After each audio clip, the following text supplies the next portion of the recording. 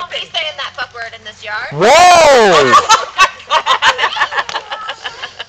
I don't. I don't even drink. This is how I am sober. Just so you know.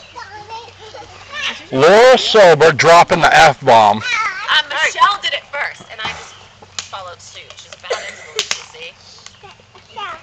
Yeah. oh, Well, get it? Hey. Michelle goes, what is that magic? It sounds so Oh, you shouldn't have did that.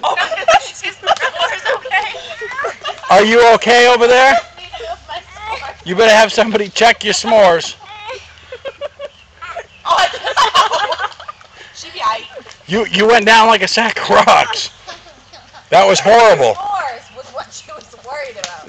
If she had s'mores in her hand, She would have never hit her face off the ground if she hadn't been holding that s'mores two hands out.